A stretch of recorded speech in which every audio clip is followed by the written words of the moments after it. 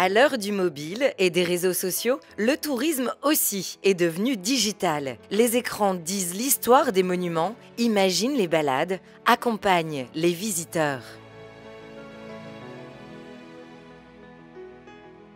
On a trois monuments emblématiques euh, de l'histoire antique euh, à Nîmes. Les arènes, c'est l'amphithéâtre le mieux conservé du monde romain.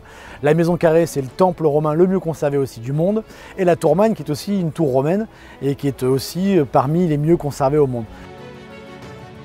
Nîmes, euh, c'est une, ville extrêmement intéressante parce que, ben, ancienne cité romaine. Le fait de le faire à vélo, c'est aussi un gros avantage parce qu'on euh, va, on va aller suffisamment doucement pour profiter euh, du territoire, pour profiter des, différentes choses qu'il y a à voir. ça permet donc une meilleure expérience et, une meilleure immersion dans les territoires que l'on va visiter.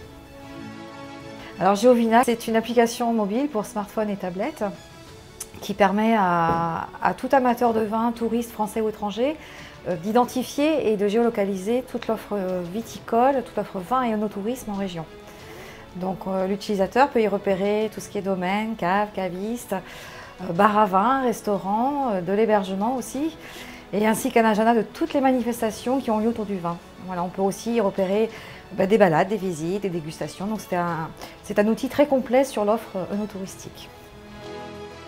Alors le touriste euh, ici, quand il arrive, l'idée c'est vraiment de provoquer chez lui une expérience de visite. Donc il va euh, visiter les arènes avec une tablette en réalité, euh, réalité augmentée qui permet d'avoir une, vision au plus proche de ce que peut être les, arènes il y a 2000 ans. Et notre métier, nous, c'est de valoriser ce patrimoine auprès du grand public, et auprès des touristes, donc qu'ils soient français, étrangers, adultes et enfants. En tant que spécialiste de l'itinérance, nous maîtrisons donc les outils tels que le roadbook, tels que le GPS, euh, pour pouvoir euh, permettre aux clients de pouvoir se déplacer sur un itinéraire sécurisé, où il va y avoir un intérêt touristique, euh, que ce soit culturel, que ce soit naturel, que ce soit en termes de patrimoine, par l'intermédiaire d'une application qui permette, en fonction de la géolocalisation, de faire remonter les informations touristiques aux clients sans qu'il ait besoin de chercher dans un roadbook ou un travelbook et pouvoir profiter au mieux de, ses vacances parce qu'il ne faut pas oublier que euh, le premier des objectifs euh, du tourisme, c'est quand même d'être en vacances.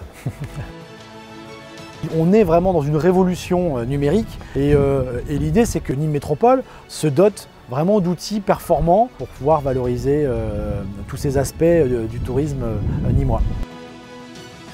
Alors pour cela, l'agglomération nimoise soutient les projets novateurs, invente ce tourisme de demain, celui qui s'imagine dans cet incubateur international quasiment unique en France. Start-up, PME, PMI, grands groupes répondent présents et dessinent ici nos voyages de demain.